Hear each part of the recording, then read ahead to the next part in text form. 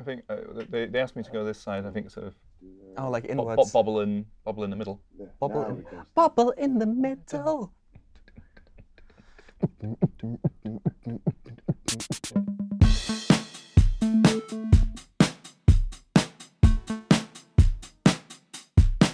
So, yes, here we are. We are back. This is our third episode of our.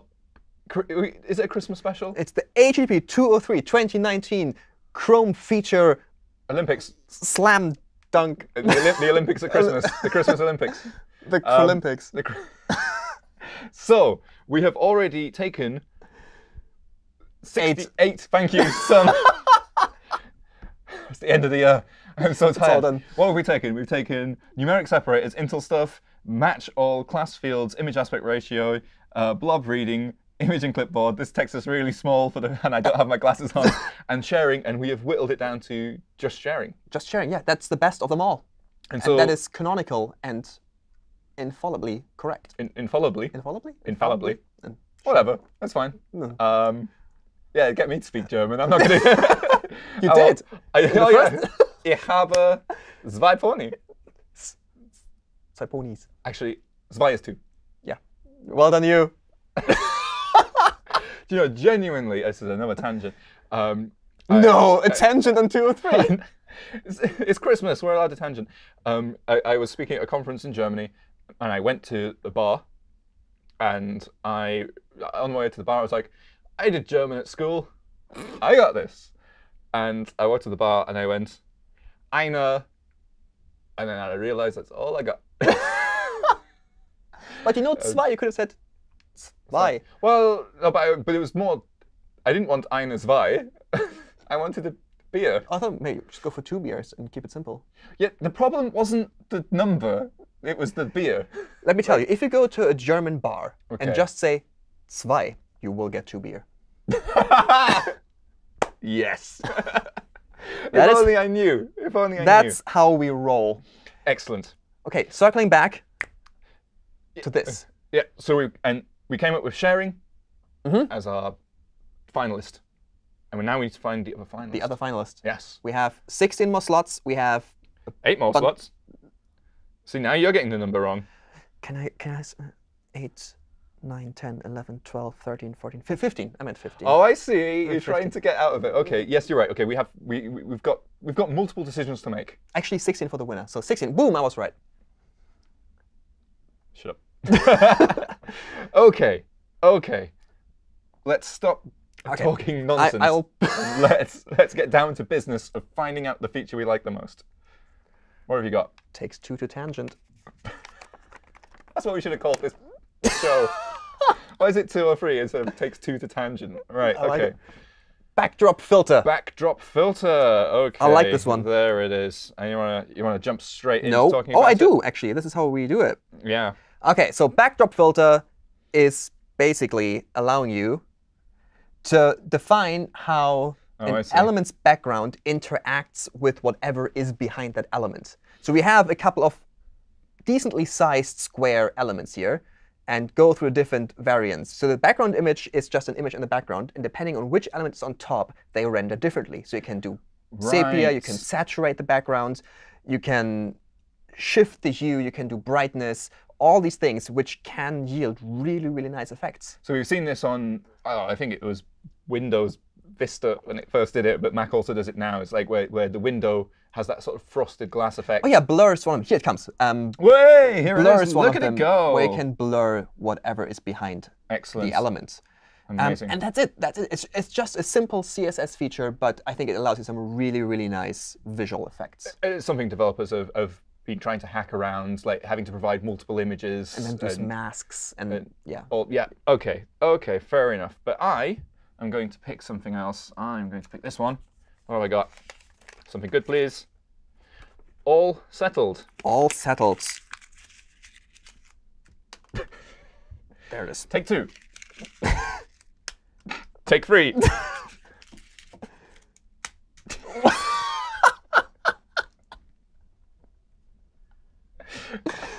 so, allSettled. Here we go. Uh, this is not as good as your feature. or maybe, maybe, uh, Maybe, we'll let's, find let's, out. let's see. So promise.all. Yes. You've seen this. You give it multiple promises, and it will resolve with the all of them, the, the things, the thing all of them settle with, Yes. uh, fulfill with. Um, but it will also reject as soon as one of them rejects. right. So it, it, I think they call it a short circuit. If one of them rejects, it short circuits. Yes. So if you are fetching ten things, and one of them fails, For the- whatever. the whole operation fails. Yes. which can be problematic because in that case you would sort of really want to know which one failed and then Keep the other ones, keep the other ones and refetch that one Yeah. maybe or something like that you know uh, well it's amazing that you want that because look it hath arrived um, this is Promise.allSettled Oh, it's quite complex in the data structure that it gives you, isn't it? But So yeah, you- at yeah. least you have access to both the data and the actual status expli- explicitly. yes so you, you- get an object for every promise you pass in you get the status of fulfilled or rejected and you get the reason if it rejects Yeah. uh, and you get the value that it fulfills with if it fulfills. So this is where you would get all of your fetches, or you get like you know you, you get your responses for everything Yeah. that worked, or you'd get your reason for the one that didn't, and you, you can yeah um, decide to retry that one. And that that is that is it. That is it. That is it, isn't it? Um, So actually, that now I said that out loud, it was it sounded better than I thought. it's it's. Yeah. It's nice to have. I actually I have to admit I haven't needed allSettled well, because fetches, for example, only reject on network error. So it's kind of rare that some fetches would succeed and others don't. oh, I see, because a 404 doesn't. Uh, there's lots of other operations though that will. I know. reject, I'm saying I see what you, there I is what I haven't encountered them in the things that I've written, which is not surprising. I don't write that many things on a daily basis. Yeah, that's fair. Um, And also, what I will say is, uh, I'm glad that allSettled is there, but this is so easy to polyfill. yeah, it's just literally a map. Yeah, If you can use promise on all lines. and just map over the array you pass and just use a catch. Yeah, Actually, both then and a catch to turn it into that data structure. yeah, you wouldn't even need it then. You just need the catch. Oh no, you would to, to convert it into the object. Yes. Okay. Fair enough. Yeah, but it's it's it's like five lines of code. Right? Yeah, it's not the thing. Backdrop filter. Yeah, backup yeah, filter. Yeah, yeah, yeah. Come on, you you I agree. No, I, I absolutely agree. I think that's you totally won the first seven rounds in yeah. the side. yeah, but you've got the other finalists, so I'm I'm getting a little bit worried. Right. So we're on to our next set of things. All right. Yeah. I shall pick a candidate. Media keys. Media keys. That is an exciting one. Uh, yeah, uh, so off you go. You can present it. Media away. keys. Um, if you have ever wondered, media keys. if you have media keys, which many of us do, Mm, um, you might know that there, for the longest time, there was a problem of pressing play pause, and if you had media playing in the browser, they just wouldn't know. And the right. and they would usually just interact with like Open iTunes or whatever. Yes. what happened, which is really annoying. Yeah, exactly. Um, now web apps actually have the capabilities to subscribe to these keys. However, it is gated on having a media session. So you can't just say, right. I w- give me the media keys. I own them now. You have to be playing a video file or an audio file that may be via web, web audio API or anything like that. But if you have a media session, then you can set what is called an action handler. I don't know why they called it an action handler and not an event handler, an event listener. That's that's the spec. but um, maybe because there's only one, um, rather than Is it multiple. worth defining a new API for? Well, yeah, I guess that's, that's fair enough. Well, you could already do key listeners for this, but you have to be in. Right. So on the this means like, that you to actually the, the window doesn't need to have focus, right. and it would work. And music is an important use case for that, Yeah, right? like I mean, the Spotify web player is really good, and this now allows that web player to actually listen to the media keys, even if you have focused something completely different on the system. I wonder if this works. I, in the previous episodes, we were dropping each other in like a, a difficult question. Mine Keep this- going. Does this work with the media keys you get in an Android notification? Yes. Uh, Oh. well, I the thing is that I think the media session you get on Android already is in the notification bar, and that is already directly tied to the playing element that may, which Oh, may so this might have already existed before that. On Android, it probably and- had worked before. Although this Okay, would okay. obviously allow you to add custom code. So I think the play pause functionality worked before, but now you can run custom code in response to this action. Yes, which, which would be things like if you're, especially if you're using uh, media source extensions to fetch Yeah. chunks, so you'd stop the, the fetching. Exactly. and So I think that. this Okay, okay, okay. would also work on Android. I'm pretty sure it will. All right, cool. All right. Well, uh, so my, my turn to pick a feature. Pick a feature. Come on then. Uh, I'm gonna take this one that you uh, ripped as we were. Nobody would have noticed if you didn't say look it. look at that. Look at look what he did. All right, uh, but Oh, Jake gets a Jake feature. I get a Jake feature. Um, this is background fetch. There we go.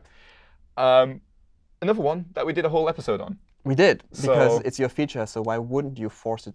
Again, I'm really happy that I picked this because yes, it was one I, I had some involvement in the design uh, in the specification.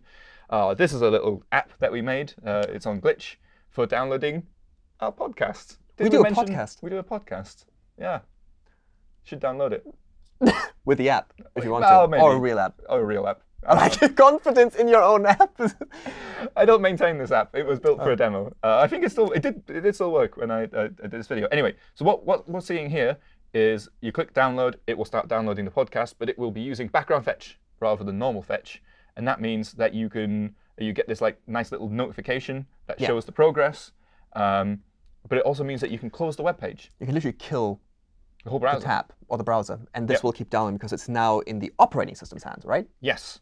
And then as soon as it's complete, uh, you can change what the notification says, um, and then you get an event in the service worker. In fact, I, I, let's should we should we look at some code? Should we look at some code for that? Um, so this is where like you take a service worker registration. You Yeah. say I want to fetch these things. It can be multiple things because Good. That's know, often the case. yeah, artwork in an MP3. In the case of video, it can be like thousands of chunks of video. Yeah, they chunk the videos often, very, quite Yep. often, right? This is the information that will go into the uh, notification. Nice. There it is.